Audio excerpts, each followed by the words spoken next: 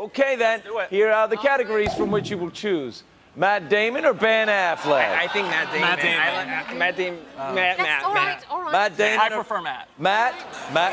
Me too. Okay. Come on. All right. Matt Damon. Matt Damon.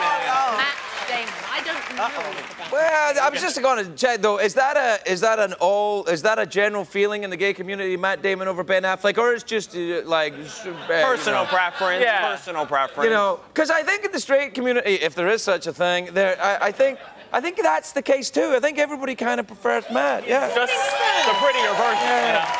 Also, what happened with Ben? Hello. Mm-hmm. Yeah. Not judging because I don't know, but judging a little bit. I mean, a little bit. Yeah, I, I'm not saying anything because I don't know all the details, but Yeah. Hey.